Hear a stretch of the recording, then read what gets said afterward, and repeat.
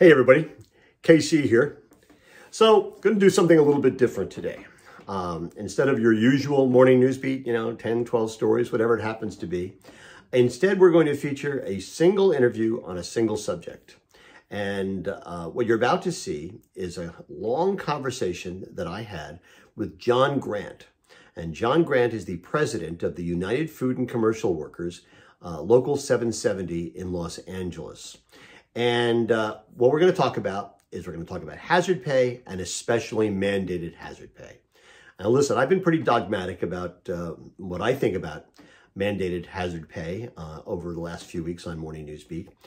And listen, most of you, the, the emails I get, you agree with me. I just think it's bad public policy. And I've run numerous emails over the past few weeks in which you all have explained to me why you think it's a, a bad idea on a variety of levels. But we weren't really hearing very much from the other side. Occasionally, uh, somebody would write in to say, you know, they were an employee and they felt that they needed to get that. But it wasn't the kind of kind of broad, nuanced discussion of the issue uh, that I wanted to have. Uh, so I reached out to John and asked him if he would come on Morning Newsbeat and, and talk about it, and he said he would. A um, little bit of full disclosure here. I actually once got a check from John Grant. Uh, a number of years ago, he hired me to come out and talk not just to people in his local, uh, but people from other locals in California to just give them my insights about the food industry. Uh, and I did. Um, I would say the people sitting around the table, they probably disagreed with 50% of what I had to say. Uh, on the other hand, if I'd had CEOs sitting around the table, they would have disagreed with 50% of what I had to say, maybe just a different 50%. Anyway, so I want to be clear about that. Uh, the other thing I want to be clear about, and, and John knows this because I've told him, uh, I am not reflexively anti-union. Um, my dad was a union member as a teacher, uh, and the health care benefits that were um, negotiated for him uh, were unbelievably great and saw him right through um, uh, till his death uh, when he was in his 90s. Um, I am a, in a union family. My wife and daughter are both members of a teachers union. And I will tell you, I'm sitting here in the last 25 years, my healthcare coverage has been has been basically dictated by um, healthcare benefits that have been negotiated by my wife's union. So I am not a reflexively anti-union person, despite the, but I am reflexively anti-mandated uh, hazard pay. So we had a long kind of uh, discussion. We talked about a lot of different things, labor management, talked about the past, talked about the future. I think you'll enjoy it. I learned a lot. And um, I hope it kind of at least sets uh, a floor for the kinds of discussions we can have in the future. You're going to have thoughts about this interview. I hope you share them.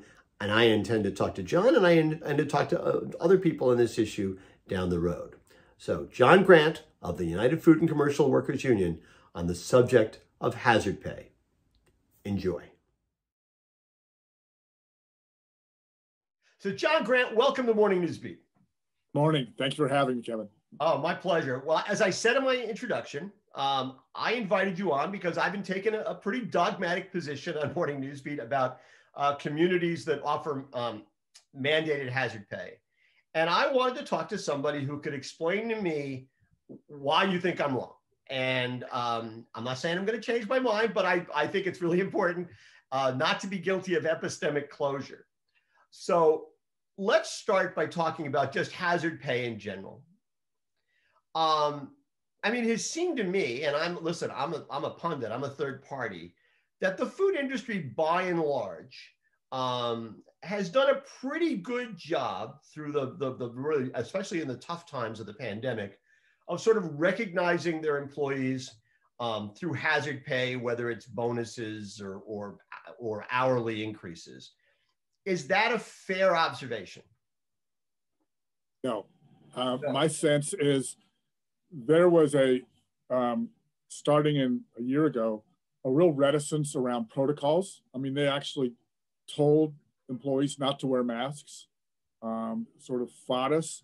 Um, at least I'm, I'm more familiar with Southern California, okay, fair. obviously, than other areas, but I'm, I'm hearing anecdotally through the UFCW across the country the question of different protocols, the social distancing, the tracing, the contact tracing. I know throughout the country, especially us at 770, had to conduct our own tracing. um, of you know when someone would get sick. We're the one we pushed for the paid quarantine leave. Um, there, there, was some resistance. They eventually the California grocers came in and supported. I mean, I got to hand it to the governor. There was a the first sector wide from the fields to the stores to delivery were entitled to that. Um, and then the hazard pay ended in June, July, you know, and it was it was signaling, I think, this sort of a letdown um, of attention and consideration. I would, by the way, I mean, I would totally agree with you in terms of what I know about contact tracing. I mean, it right. just seems to me we as a country have not have done a terrible yes. job of contact sure. tracing. Yeah. Um, you know, about the, it's interesting you say that about, the, I mean, that surprises me to be perfectly honest about the mask stuff, except that I know in the early days, you know, February, February 2020, March 2020, I mean, even Dr. Fauci was saying you probably want to save the masks for the healthcare professionals. Right. Although by April 1st, I may by a year ago now, there and they were saying everybody should wear masks. I mean, um, so I'm you're right. You're right. That, the CDC, in fact, at one point said that yeah, yeah, they were messed so, up. when retailers were resistant to the idea of wearing masks in the stores, um, that was just reflecting what the CDC was saying at that moment. And then, but then as as they changed or what, you know, still we ended up buying masks for our members okay. and distributing them. And actually, we're outside distributing them and got a call from one of the company's labor relations. What are you doing? Raising all this hysteria about, you know, Matt. I mean, it was just that was when the other one is testing. Uh, there's another area that they were reticent about doing there were like 20% of a, this is April, of employees in a store or higher. Um, and packing houses was even worse, um, that were had tested or were infected. And we say, let's have public have testing for that store. And they were resistant um, around that issue. I think there was almost a denial in some respects. Now they moved, some moved, some have been exemplars. I think it's FoodMaxx, uh, Foods Co. in Santa Maria when an employee, two employees, I think tested negative, they put everybody on two weeks leave, two days, scrubbed down the whole store, and then brought in an outside crew to operate for two weeks to make sure that the, you know, to arrest the infection. And, and have paid hazard pay the whole time, never stopped. Um, I, I have to say, I'm, I'm, I'm surprised because the impression I got was that as soon as it starts, I mean, that, that certainly in terms of you know everybody's plexiglass budgets went off off the charts, right? I mean, pretty, and pretty early. I mean, they were putting up plexiglass stuff in March and April of of last year. Aprilish, yeah, yeah, more Aprilish, yeah, and that was there was some resistance around it, but even the um the social in August of of last year, we know customer count was up, sales were out, up, Prices in some instances were up. Labor costs were down.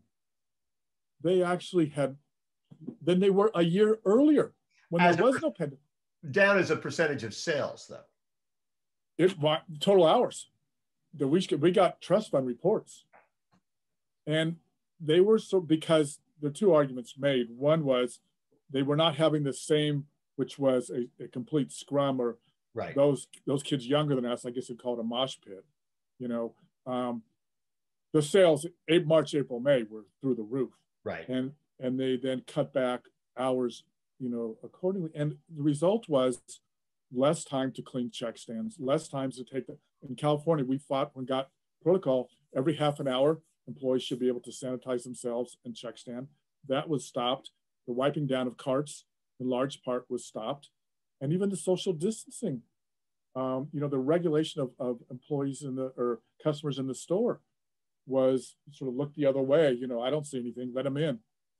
And the and then what happened was by November, when the whether that's the third surge or whatever you call right. it, that was there was much in many infections in November and December as there was the whole year previous to that.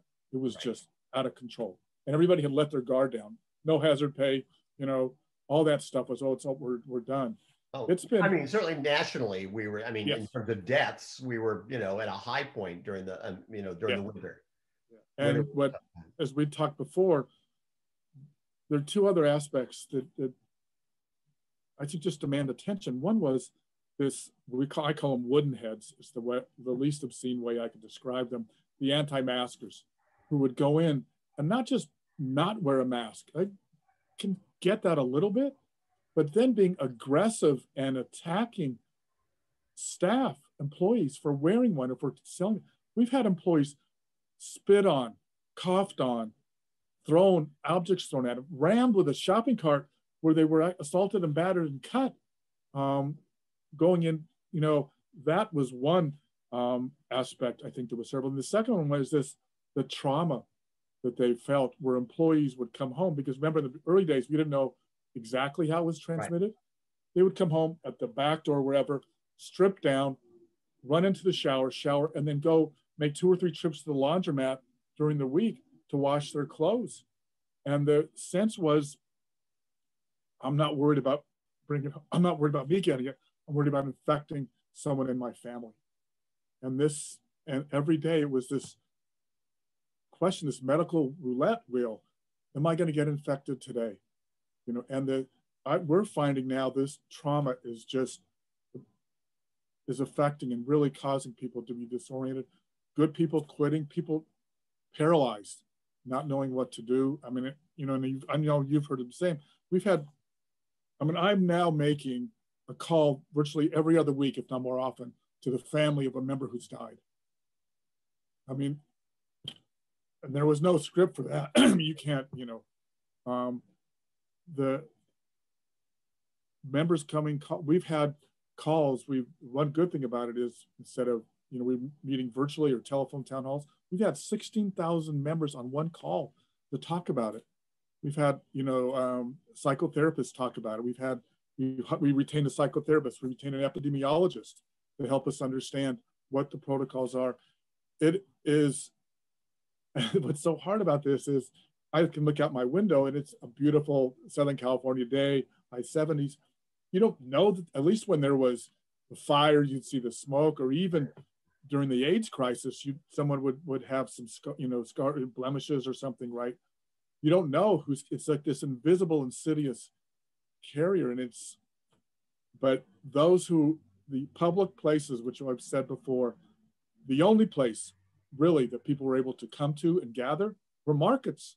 Right. There was, and and people would take their kids to the service deli and buy cookies with their kids like that was their excursion for the day and it just was it just is this sense of i mean they would tell me i didn't sign up to be a public health official and now i've got i'm in charge of it and i want to tell this person not to wear a mask and i'm told now by corporate not to get i understand to a certain extent not to get in the middle of it um, i had a woman someone came in shirtless, maskless, and she said, Please, sir, I can't serve you. And he just coughed and spit on her. A week later, she gets COVID.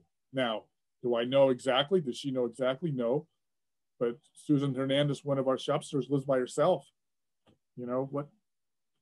It's just that I can't imagine going to work every day with that, you know, not knowing this sort of petri dish or medical Katrina, whatever we want to call it over your head. I mean, every day you don't know what's going to happen. Has is there a, for lack of a better term, we haven't even gotten into the mandated. Yeah. But let's. Is there a lack of somehow has, has that story? I listen. I've talked to retailers in Southern California, and as you can imagine, they would paint a very different scenario, right? They would yep. say, "Hey, listen, we did it. We spent a ton of money on on benefits we spent a ton of money on on on on um, on salary boosts for, for folks. Now, by the way, I, I think I said as early as last April when these things started, I can remember saying the, the, the, the companies that were doing bonuses on a regular basis as opposed to hourly increases I thought they were smarter because I thought the problem is you do right. You give somebody three dollars more an hour, eventually you're going to take it away, and that's a really bad op- optics, right? And you notice it immediately. A bonus is like this extra, you know. Yeah. Um, now I recognize bonuses are different. If you're getting hourly pay, you're getting it faster than on a bonus. I thought that they could have done things like, hey, listen, we're going to look at that. We're going to look whatever our whatever our comps are, we're going to take a piece of that, a percentage of that, and we're going to give that back to the employees. I mean, there are other ways to do it than hourly that might have been easier. But I think that, I mean, by and large, the retailers that I've talked to think that they have, I mean, they have gone over and above. Uh, no, I'm not going to say over and above. They have done what they thought they they. Um, I think they would view themselves as having been compassionate and generous and and empathetic to their employees, and that um, and that they you know and, and that just labor costs are not the only part of this. That it's there's also you know there's all the expenses that went into make sure all the stores and all the warehouses and every truck was clean. They had to invest a ton of money in e-commerce because that was something that a lot of them weren't had not done before. Um, so there were tons tons of expenses that weren't even necessarily related to um, I- employees, and that to paint them as being and you didn't use these words, but as being greedy or selfish or um, uh, inadequate to the moment it is not fair. And I want, I mean, some, sometimes I always think, look at these things, I'm saying, is there a communications problem here? Is the problem not, is, is everybody talking by each other? And is the word coming down and going up properly right. in terms of, um, so I would say they probably were those adjectives that you didn't attribute to me. I mean, I would say that they were largely inadequate for the moment. I mean, I also, my understanding is they still garnered exceptional profits right. From before, even including those costs coming. These right. are after those costs are coming in.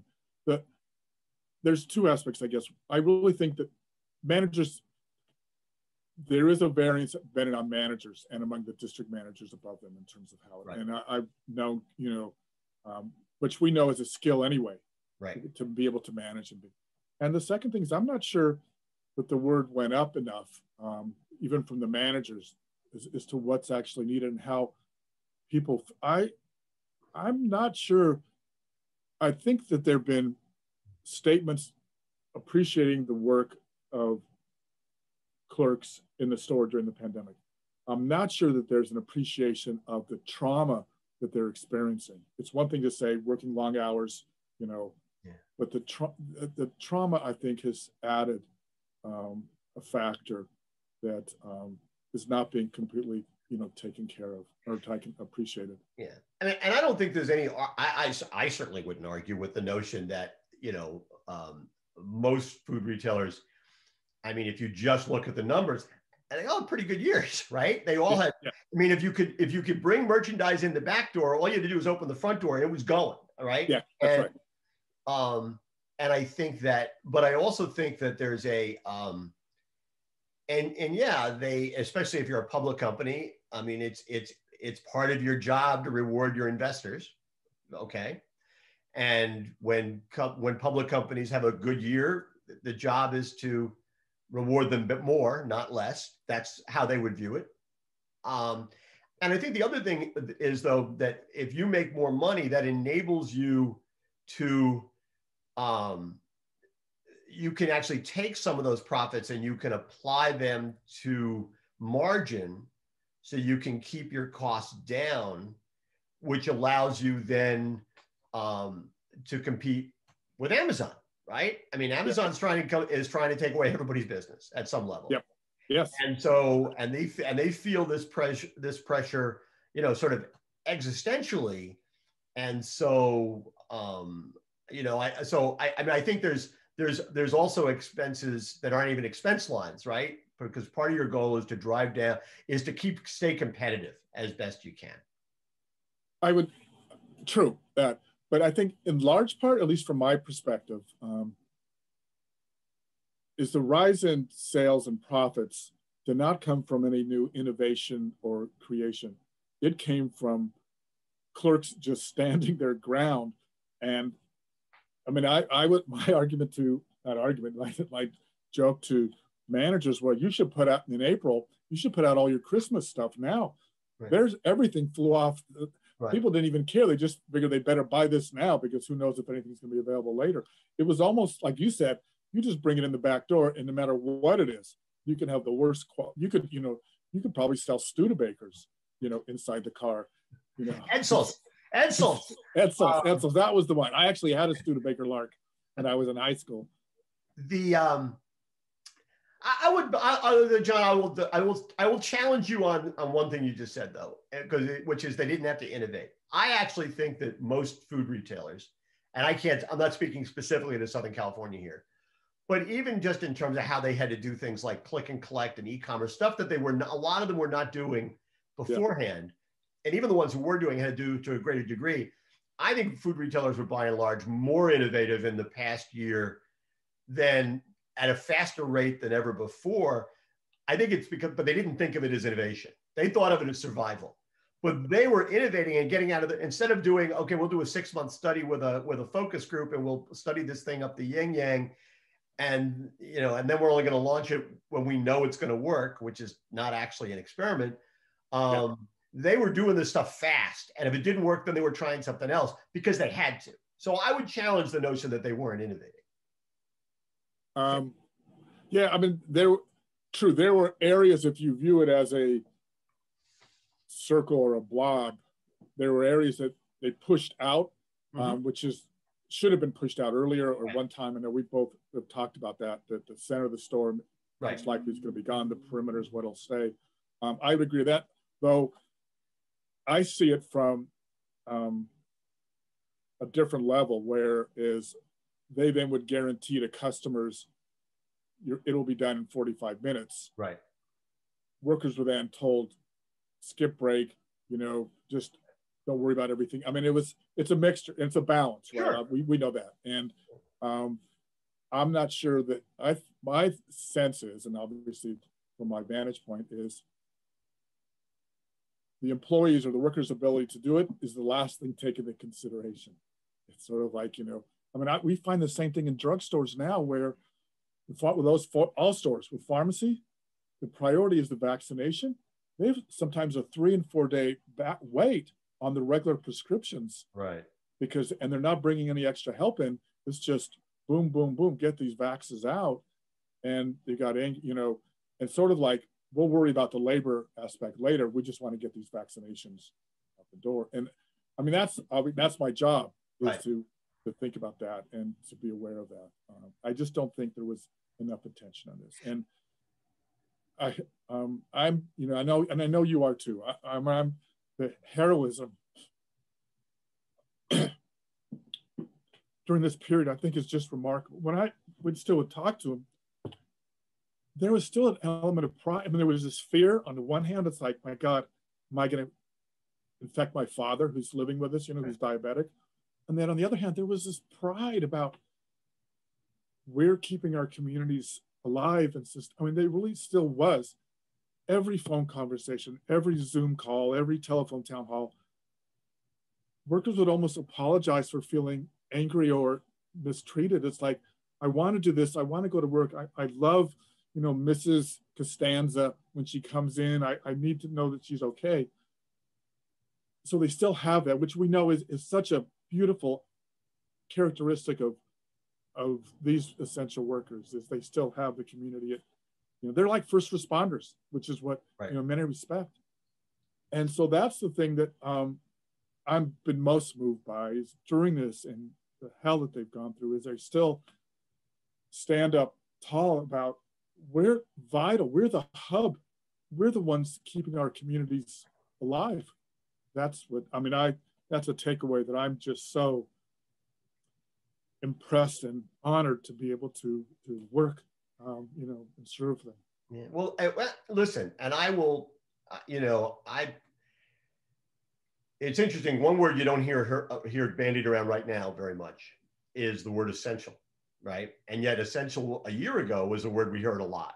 Yeah, yeah. And and I, and I can remember thinking and, and writing that hey, listen, if they're if they're essential workers in April of 2020, they actually were essential workers in April of 2019 as well, and that the companies that, and I think there are a lot of them out there, that treat their employees as being essential um, pre-pandemic, and we'll do it post-pandemic, we're going to do the right thing during the pandemic. And and I and I thought and I did think that if you're not if if if essentialness, if that's a word, is is is situational yeah. as opposed to cultural, you got a problem. And I'm not yeah. specifically referring to any retailer. I'm no, no, no. in general. No, and I and I actually, um, I, I mean, I agree with that 100 percent because when looking at that back in April and May, realized, especially in Southern California, which is probably true, the situation almost becomes part of the culture. Is that fires? There are pictures that, that I have of two years ago where you could see the flames lapping the hillside behind the store and the employees still in. Right. And they were like given toilet paper to wrap around their head, you know, over their mouth because the smoke was so bad. So I've seen it. We've seen it in fires. We've seen it um, in mudslides in the Santa Barbara area, where horrific mudslides. We've seen it where there's been civil disturbances. Um, they stay. They are asked to stay at their post for all of the problems that our communities face, whether they're external, natural, God made, punished, you know, punishing us, locusts even, though I haven't seen that recently. You wouldn't know you're describing describing Southern California, which is supposed to be the promised land. Man, I live in Connecticut. We get a little snow in February. You know, we don't have no mudslides, no fires. That's, you know. I know. All right. Let's talk, let's talk about mandated. Okay. Um, because I, I, I essentially don't. I mean, I can't vouch for what you're saying. I mean, about in yeah. terms of the, the, the companies, but I'm totally on board that that treating your employees as essential and rewarding them in the right way made made absolutely a lot of sense during the pandemic, as well as before the pandemic and after the pandemic. So uh, we're we're very close to being on the same page there. So let's talk about the mandate because my argument has been that uh, is that the word mandate really bothers me because I just think it's bad public policy. But so let me just let, let me make sure that I understand it correctly. So mandate uh, uh, uh, local, a mandate is when a local lawmaker, and it can be as big as Los Angeles City or Los Angeles County, or it can be as small as Bainbridge Island, right across Puget Sound from Seattle. They decide to legislate an hourly increase for a specific class of retail employee generally grocery workers, although not always just grocery yeah. workers. And there's usually some kind of qualifying set of standards, like the company has to have a certain number of stores or a certain number of employees, but usually that's nationwide, not just in the market. It depends, and, yeah. yeah. Right? And the increase yeah. is generally two, three, four dollars an hour. So am I mischaracterizing what a mandated um, hazard pay increase is? No, the only thing that's not mentioned is that it's for a limited duration. Right. And that duration um, shadows or falls within this specter of the pandemic, the emergency order. It's limited, but it's not in, indexed, if that's the right word, in the yeah, sense that exa- they may say it's 120 days, but there's nothing to stop them from. No. Um, no. There's nothing to stop them from uh, renewing it, as opposed to let's suppose if they said, okay, we're going to put this into place and i don't know what the what i don't know what the um the case numbers are what are the daily case numbers in la right now? Well they actually when, when la was the first iteration was as long as we're in the until we get to the yellow zone or whatever the zones right you know okay. based on the percentage. But well, that was retreated from that because to make it i don't know more palatable that we'll just give you a, a precise um, period of time so you can budget it. 120 days okay. and then it's over. Okay. So, but explain to me why it's good public policy for lawmakers to intercede in this way on one specific class of trade. I mean, why why is the why is the employee at at a at a um, a Vons or a Ralph's more at risk than an employee at Home Depot? Well, curious you say that because the judge, um, in denying um, Kroger's one of Kroger's lawsuits up in Washington, right? Yeah, said, I don't have to go to Home Depot during the pandemic, but I sure as as hell have to go to Vons or Ralph's or whatever to get my toilet paper and milk.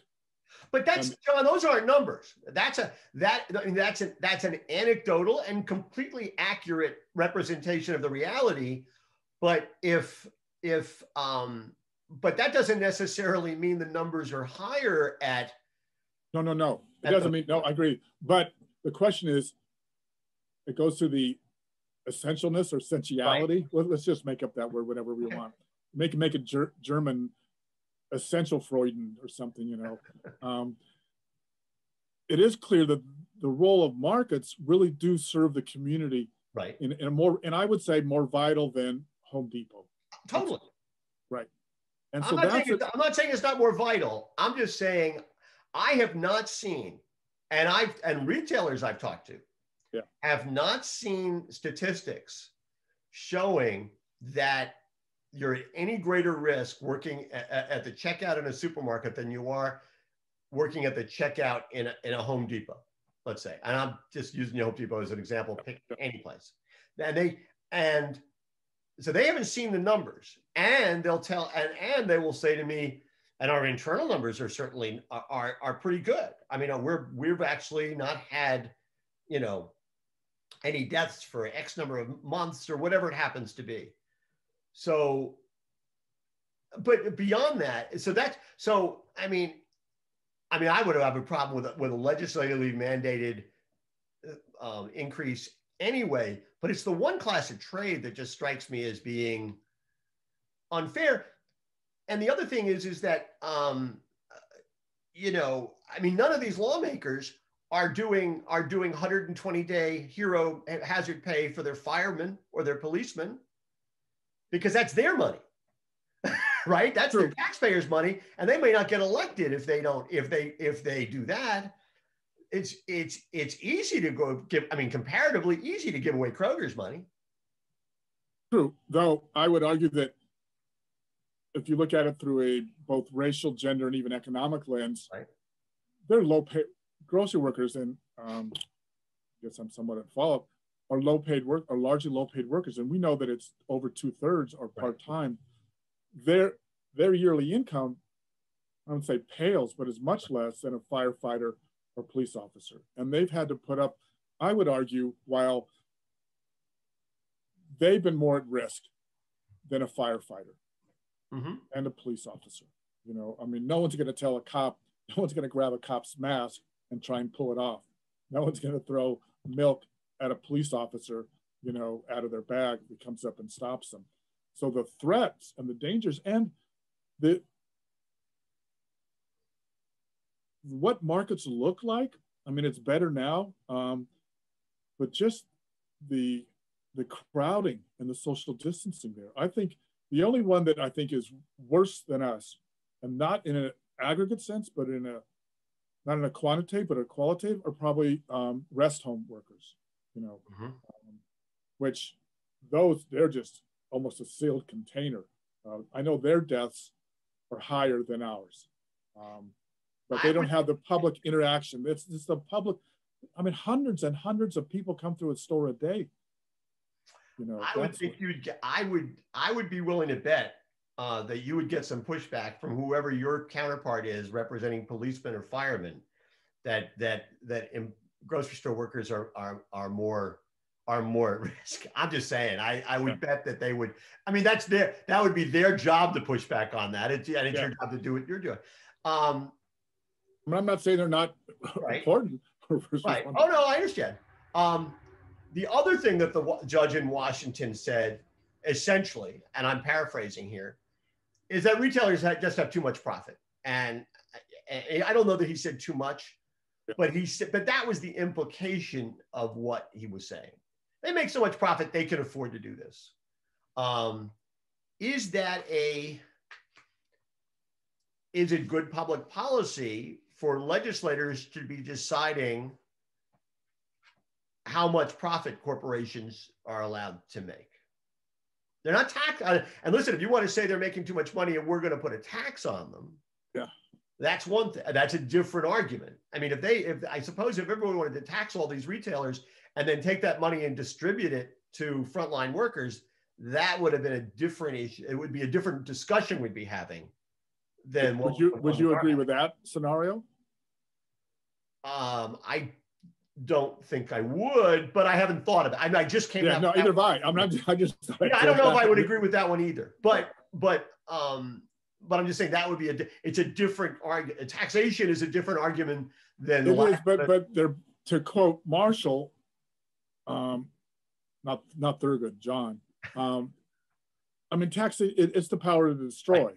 right? Right. And I shouldn't be arguing saying this out loud, um, but is not raising wages or establishing wages that power that, that same you know you're basically determining how the company uses its resources. So when we say a minimum wage, we're saying a certain set of enterprises you're not going to be able to compete. We're not going to give you a a charter or a license right. to operate because you can't operate, you can't pay a minimum wage or overtime after 40 hours or health and safety or workers' compensation. All those are all wage aspects largely. Right. And I'm and listen, I'm I'm not arguing against minimum wage, God knows. And I'm not I'm I'm not I'm not saying that at all.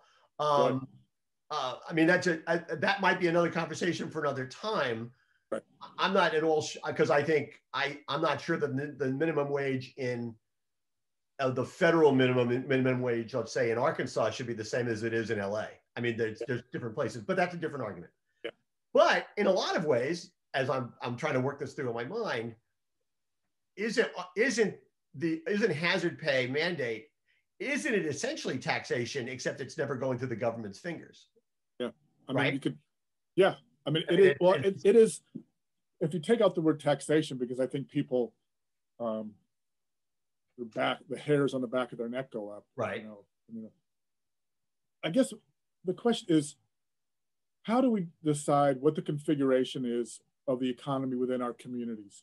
Um, and in one part, the charter or the licensing is part of a, community decision. It's like, you know, whether we're licensing about who gets to sell to whom, like liquor stores. We've mandated you who, who they can sell to. We've mandated what their operating hours can be. Um, you know, and so we've communities reached in to an individual enterprise to sort of figure out what the proper configuration is to ensure that our communities are healthy and are served properly. And then when you do it around who can, who can receive who can buy, when they can buy, where you can set them up, how you set them up. Um, I think that the question of and the taxation of of that of the operation of different operating costs.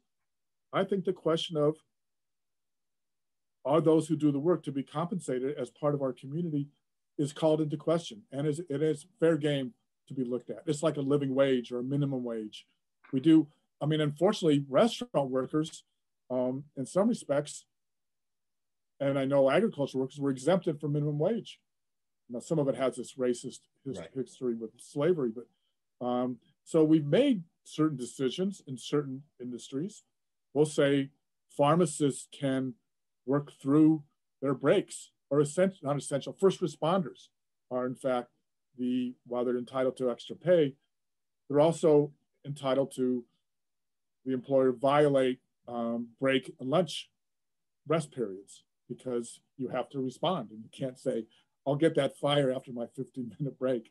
You know, um, we understand the realities. Yeah, but the, I mean, the thing about um, the again the mandate is to me is it's it is it is both situational and completely unnuanced in the sense that um, if it first of all it takes away the ability for a retailer to differentiate itself by paying more money okay on the one right?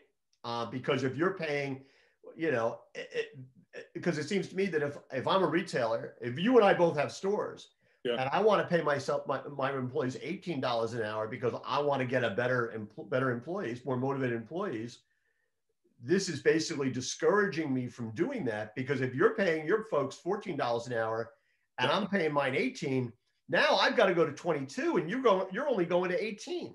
You're right. And, That's right. And so, and, and 22 may be completely, I mean, that 22 may, uh, I, mean, there would be retailers, I just can't, I mean, I can't afford to pay that. I mean, that is essentially the argument that Kroger made in saying, hey, we're closing these stores because we weren't making money in them before. And if we have to give everybody a four dollar per dollar, a four four dollars per hour increase, these stores become completely unprofitable. That's what they said, though they've now recanted that. They said they were planning on closing them anyway. Um, it also turns out now that there, at least two of the in Los Angeles, three, if not all three, had leases that were expired anyway and not renewed, and um, they're now going to go up for affordable housing and other development part of the, the gentrification. Okay, okay so, so, so part of it was that I'm just saying. Go ahead. Yeah. That go ahead. They, I no other. Why is the no other employer closed stores? Oh, it was a form of protest. Yeah. I'll buy that. It was, as I say, it was, it was, it was Darth Vader going after Alderaan. Well, that's my, that's well, my movie okay. clip. That's my movie. Clip. All right, that's that's that. That's all right, but that's that's. But okay, but let's. Okay, but I, it was a form of saying, "Hey, listen, guys, if you're going to play hardball, we we can play hardball too." Yeah. How? Eh, but is isn't that for them as a retailer? I mean, they don't have a lot of ways to protest. Uh, this may be a little inflammatory, but is is closing a store under those circumstances any less a legitimate form of protest than erecting a picket line or going on strike? Good question. Let me just figure that out. right? Well, I mean, you, you got to play the cards you're dealt, and they and that was the card they. Had those are the only cards they had to play. Well, they could have taken part in public hearing, right? And I guess, yeah, you're right. To a certain extent, I'm not, and I'm not sure that's to me that's beyond the pale. I mean, I do think that when you're chartered publicly, um, this goes into it with our next discussion will be about charter revocation. Um, you know, I think that there's a certain a presumption you're subject to public authority. But I mean, but they were, it, yeah, subject to public authority is what I mean. Yes, you gotta, you gotta, you gotta maintain certain standards in terms of right. safety you got to uh, you got to pay your people a certain minimum wage. You have above that anything beyond that is up to you. You you establish what your norms are going to be through collective bargaining with with uh, a, a, responsible um, uh, uh, union uh, union. Thank you. Um, Flattery will get you nowhere, but I agree 100%. Right. And I mean, all gonna... those things, right? You got to make sure the toilets are running. You got to make sure the water is clean. And, and if you're in the food business, you got to make sure you're doing all the food safety things. I mean, I'm not, I'm not saying, I'm not suggesting we need the wild, wild west. And I'm in favor of all that stuff. Right. It's the, it's the, for 120 days, we're going to mandate that you and nobody else have to increase these things. And again, it, it, it just, I'm just have trouble with the notion again, because there are retailers who are paying their people more money who actually get now are being penalized for paying those. Money. Yeah. Though. And they don't have, by the way, and they don't have the ability. I mean, I mean, and I'm not, I'm not choosing a specific retailer, but if you're only operating 14, let's suppose you're operating 14 stores yeah. And one of them is marginal. One of them's on the bubble. It really is on the bubble. But you know, you you, you want to keep it open. You think it's got a future. You know, they're gonna be they're gonna be building housing a mile down the road. It's gonna be all it's gonna be good. So I know I got to hang up, but if I can just hang on for a year or two and break even, I'm I'm okay. This actually makes me say no. I I can't break. I'm not. I I can't afford to be put in this position right now because I'm I'm in because I'm maybe I'm a private company. I'm not public. There's no private public. I mean, uh, you know, yeah. right? And so suddenly I may have to close that store. So you're going to lose hundred jobs, as opposed to as opposed to have people in those hundred people getting two, three, four dollars more an hour. And that's what that's what bothers me about the mandate. Is it is it's like they didn't. And it. Oh, let me ask you the question this way yeah. How many how many public officials that you dealt with on this do you, do you think really understood retailing? I know you understand retailing. Someone I came out of the slaughterhouse, so I'm not as good at you know as well versed as others. You've been doing this a long time. I just think yeah. you know I've had conversations with public officials in other local things, and they don't understand. What do you mean they make two? What do you mean they make three cents on the dollar? How is that possible? But the fact, but nobody else closed, or even I mean, I've talked to some of the small operators. Right. Their, their biggest problem with this was having their bookkeeper figure out how to how to do this. Right. Like it's like we then said you can wait two to three weeks. It's oh, like I'm so not arguing with you. Kroger did it because it could. I mean, I'm not, I, I, I don't even think Kroger would argue with that. I mean, they may no, not no. say it. Kroger now has backed to you and me like this. Kroger now has backed off and said, um, okay, yeah, it really wasn't about that. And our suits were only because Walmart and Target were included, which they were included in LA. But it's sort of like, really, I don't think that's the only basis for your suit. I know it's, but see, I go back to, it's, I guess it's some of it about transitions and whatnot. I'm still, I'm really old school. I like the era or look towards when there were public markets and every, you know, the 265 largest cities in the country had market departments, public market departments. And they, you know, as you know, determined when they're to operate, the matters of cleanliness, and they even established prices for widows and those who were disabled who got a lower priced, were afforded lower prices at these public markets than others. Now, obviously, it was in the afternoon, so it was a little bit picked right. over. But it was like that's an authority. to me, it's a public. It's similar to healthcare, housing, you know, and food, or the, the triumvirate, or the three-legged stool that every community needs in order to stay healthy and enable folks to enjoy its riches. And so, is public the selling of public foodstuffs I think it merits that attention. Don't you think, which actually turned into a question, right? Don't you think it merits enough attention and observation, control, whatever we, want, monitoring to ensure that our communities are afforded them and those who work in those um, establishments similarly are rewarded um, for all the hidden, you talk about some of the hidden costs the employers have. These clerks had a number of hidden costs, extra, extra clothing, extra trips to the laundry care, a whole set of stuff that they had to um, take care. I mean, they were many of them were taking public transportation, which wasn't exactly the greatest, you know, place to be. Listen, I mean, um, I, and listen, I think that I, I would like to think that if I were running a, a business like that, that I would have I would have uh, tried to understand the things that you're talking about and tried to and maybe and um, and would have done my best if to figure out how to how to ameliorate some of those issues. I mean, I think I, I mean, and I'm so I'm not I'm not yeah yeah. So I'm not I'm not arguing that at all. And again, it goes back to what we talked about earlier, right? The whole notion of what's essential and what's not. Yeah. You mean I mean if if if a lot of my employees are struggling to take public transportation to where they work and there's no good public transportation is there a way to deal with that? I don't know. I mean, I think I think it's incumbent, especially now, to figure that stuff out. Um, you know, as well as child, as well as childcare. Oh yeah, totally. I mean, I'm I'm on board for all that stuff. Right. Um, but I think that the da- the danger is. I, I mean, I'm not, I'm not sure I'm in favor of the idea of communities determining pricing. I mean, I think that I think because yeah. I, I, I think that's basically not capitalism and I mean, Jeff Bezos famously says, you know, your margin is my opportunity. And the pro- and the thing is, especially in a place like LA, right, where there's a lot of stores, is if somebody's not competitive, somebody else is going to step in and be competitive. I mean, if yep.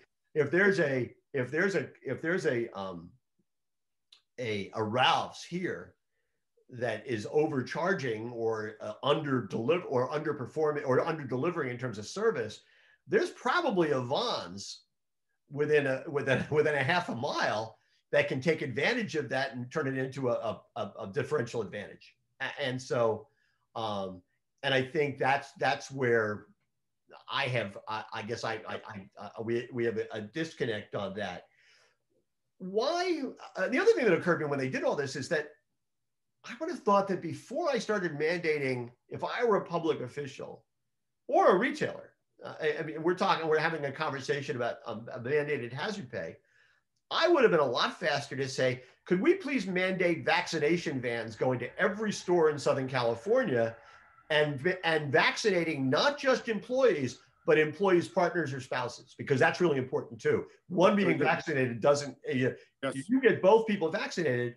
I would have mandated that. I would have done that really, really, that would have been my first step, not, not, they haven't done it yet. Fair? No, I agree.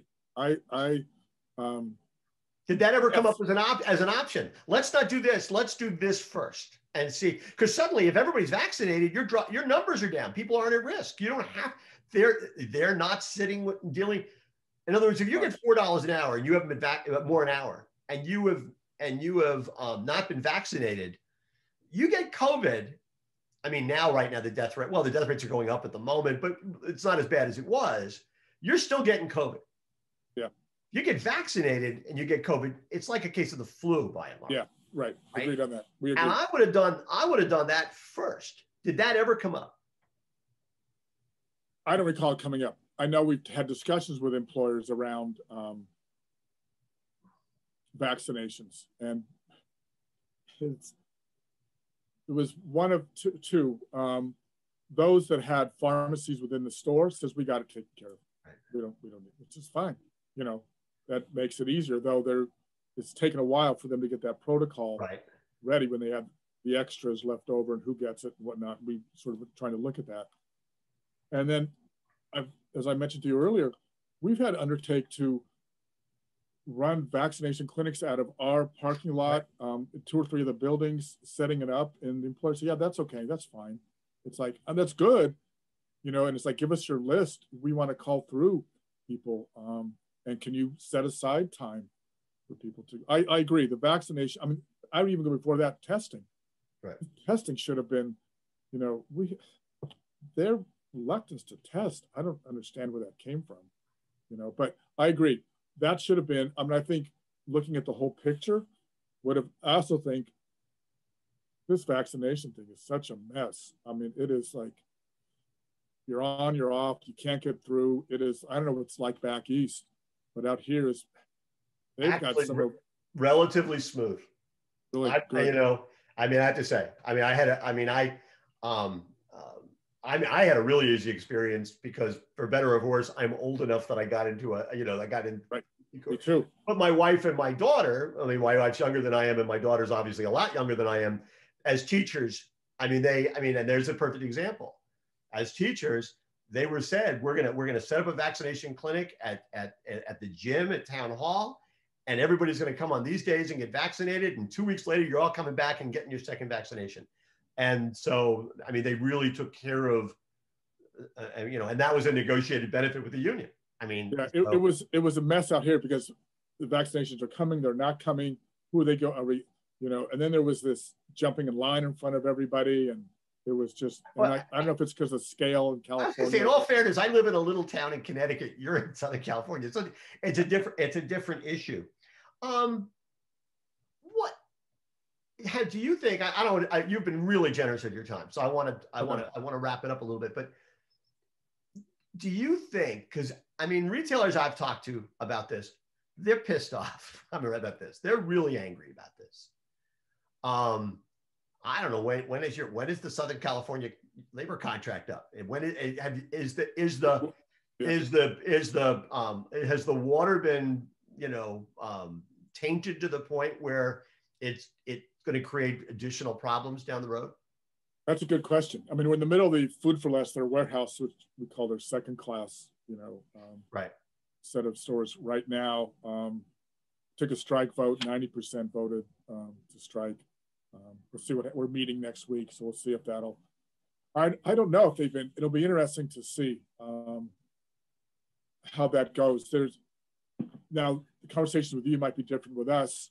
Largely, um, the mid-level ones are somewhat understanding. I mean, there's not a you know about it. Um, I don't know what's going to happen in terms of of, of next. Obviously, um, what is the what is the next? March of next year. So we're year well, less than a year. Yeah, yeah. So we're so we're starting to to prepare um, and talk to folks about it.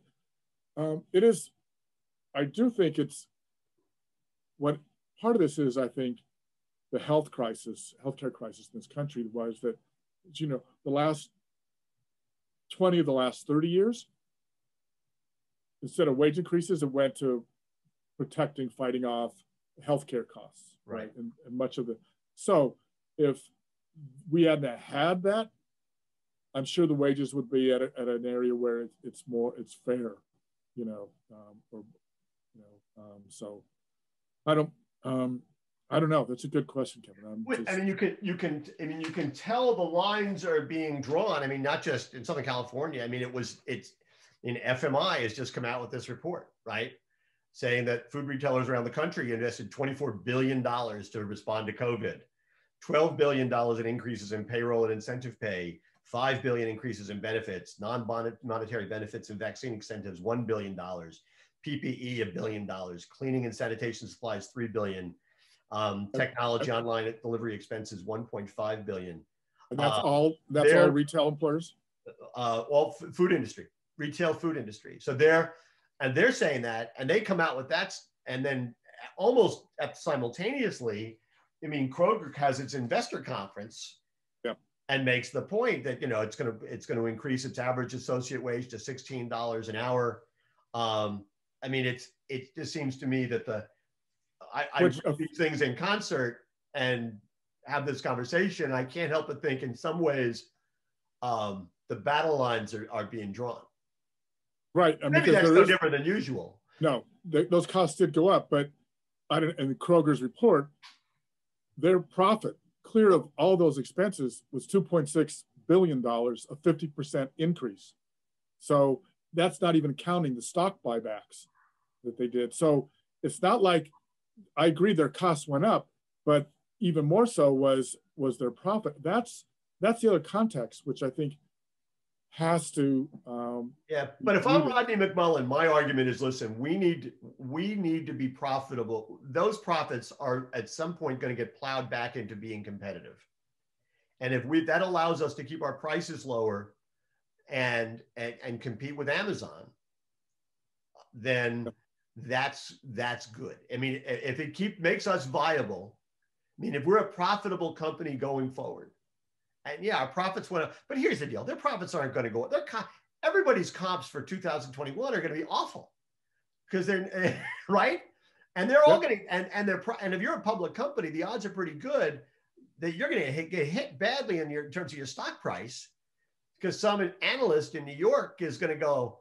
Well, wait a minute. Last year, last year you had an eight percent increase. This year, you what do you mean you're going to have a one percent decrease? No, and the triple gonna, S, same store sales, right? Right. We had managers telling clerks in, I said, August, September, our sales are down compared to where they were in April. It's like, really? That's a good thing. Workers are going, yes, that means I don't have to work 60 hours, right. you know, this week. But um, I, just, I just think it's more complex that, yeah, that profit is, it is, is it is not a bad thing, especially in this industry where profit can be hard to come by. Yes. The, the other thing is, and I, I'll admit this, is it's also uneven.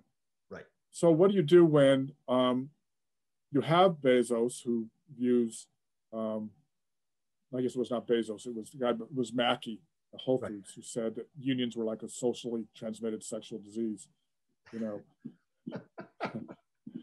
um, and I, but we know Bezos's well, attitude. Just, I know that's just charming, isn't it? is, it is it? We know. So what? What? What is it when some employers afford workers democracy work and bargain collectively to try and figure out a median point of some point when others don't. You have bottom feeders and those who are just adamantly ideologically, if not, you know, or whatever. That, that makes that first, but that makes that first set of employers preferred employers, right? Yes, and, and I agree, and it's difficult. So it, that's the thing that I've always had when bargaining. When I had this thing in, in when I was bargaining packing house, when we were down five, 10 percent of the packers were union, and the other weren't. I mean, I'm fighting them, but I know out of the corner of my eye, 90% give the workers a $50 bill if they get injured because they're not paying workers' comp. I mean, these are the non-union ones, right? They're hiding, operating out of some, tr- and it's like they got to compete with them. And that's the same. What you're arguing is Kroger, Albervons, you know, all of them have got to compete, and that's the problem when when things are uneven. Right. Is that how do you find equity, much less, you know, make it a, a level playing field, which was when I grew up, you know, it was 90% union. And then you just, it was, people decided, is based on the logo, the color of the logo or whatever, you decided where to shop. It wasn't costs. Right. But I, I guess, and again, and I, I'm, I'm enough of a capitalist, and I have members of the morning newsbeat audience who think I'm a total socialist.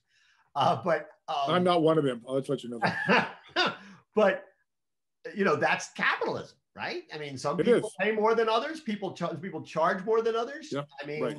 and I, as a consumer, make a decision: Am I going to? Am I going to go to Vons? Am I going to go to Food 4 Less? Am I going to go to um, Bristol Farms or Gelson's? Right. I mean, I've got those choices, and um, but the basis should be they're they're not not their labor costs that so and so is able to not pay the labor costs and therefore charge lower prices. Well, uh, but again, I mean, they all have a minimum, right? Uh, we're not. I'm not arguing getting rid of minimum wage. I'm not. I, I think no, no. And, and I'm agreeing with your earlier point right. where what do you do with some are 18 and some are right. 14? That that you know, there is there's that problem, and I don't know. You know. So let's end on a on a, on a semi hopeful note. Okay. So going forward, yeah. is there because you're going to a year from now, well, less than 10 months from now, you're going to be hip deep in negotiations and hopefully not doing them virtually, right? I mean, hopefully yeah, not doing them by Zoom. Which are very tough to pound on the table virtually right. and, and impress an employer. But what is there low hanging fruit for that you think that retailers could offer to you and your members that would not significantly affect. I, am sort of asking you to negotiate a morning news newsfeed, which is probably not fair, but I'm going to yeah. do it anyway. Is there something that you think that they should consider looking at yeah. that would have a positive impact on your members without having a negative impact on their operations? Is there something you're so, there? You're, you're so smart about trying to figure out the high note at the end on this thing. yes. And let me, one subject, which is a little bit I think the pandemic um, accentuated and highlighted concerns is the future of work, the future of grocery work. I think that's an area which they've yet to really reach across the table. We've tried, let's figure out the future of work together. They're, you know, in terms of upskilling, skilling the workers. I mean, with one model we've talked about was the center of the store is largely gone. You're going to buy your, you're not going to squeeze the Charmin anymore. You're going to buy it online, right? All that the hard stuff. That in fact, clerks become nutritionists. They're they're conscious of, you know, Mr. Cook, good to see you. I noticed you had pasta last week. If you check over in the meat department, yeah. you've got some veal that actually goes really good. You know that they, but I'm a little worried about your your cholesterol. So in fact, we've got some new mango, whatever. You know what I mean? I mean, it's right. like that. In fact, it's a concierge that right. you go to. You'll be going to a market for a different reason than we went to before. And I think that's a thing where looking forward five, what, what I thought was maybe 10 years is probably three to five, right? Exactly. How is this going to change? How is the, the e-commerce going to be and how can we protect and ensure that, because the other phenomenon that's going on, which is subject for our next discussion is this whole question of independent contractors and who's an employee, yeah. which is also, I mean, it's been community decided. Right. I think that's an area where it's low, that we can figure this out together in terms of whether it's an apprenticeship program for the store, developing those skills, because the inside of the store is going to change. I mean, we've seen it Amazon for better for worse, worse I would say, but you know, cashierless markets right. largely. And so what do you how do you make how do we someone's got to take this by the figure out this transition. I mean, what I was talking about before about public markets, the transition away from that to brick and mortar was not completely figured out. Yeah. I, this is even more important. How do we figure out this transition in a way that protects our community and the employee? I mean, the other thing, what, what, I, what I found on grocery was their public participation, at least in the United stores, was greater because um, they they voted more often, the more were registered. The question of, of racial understanding, because the seniority, you weren't just from South LA, you also came from the Valley, you know, and people, when you work together, you understand things together. The vitality, the hub that markets play can continue, but we've got to be thinking together about how to do that. And that's the thing about workplace democracy is it's the time to have a conversation. It affords us the opportunity to have a conversation. I think that's yeah. I think that's really smart. I think that they it seems to me that there's um and you don't need me to tell you it's smart, but I think it is because I mean it's because I think it's the there are certain things that both parties sort of have to be willing to put away you know the assumptions of the past when talking about it. I mean because I mean beyond the point of independent contractors, you know, if, if retailers are are are, are going to get rid of their center store, well, that's a lot of jobs that are going to go away. And if they're going to outsource a lot of that stuff to the Instacarts of the world, well, those are jobs are going away. And I mean, you want to protect those jobs, but they want to figure, but the retailer wants to figure, well, yeah, we want to protect the job. We'd like to protect the jobs too, but not if we can drop, we can, you know, drop X number of dollars to our bottom line. I mean, it just seems to me at some level, you all have to say, you know, you all have to sort of say, okay, let's. It's almost like uh, you know, um, um, uh, zero sum marketing, uh, budgeting, right? Yeah. Let's start from the very beginning and figure out how do we build a new model going forward. Yeah, I agree. It's like Sim City.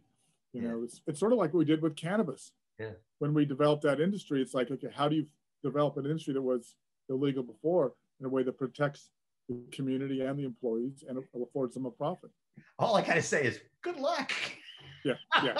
Thanks a lot. because because because that, that, that, sounds a it sounds a lot easier for you and, and and me to talk about it now, but I, I think getting there is hard. Listen, John, I I cannot tell you how much I appreciate you doing this um, and willing to sort of engage in the conversation.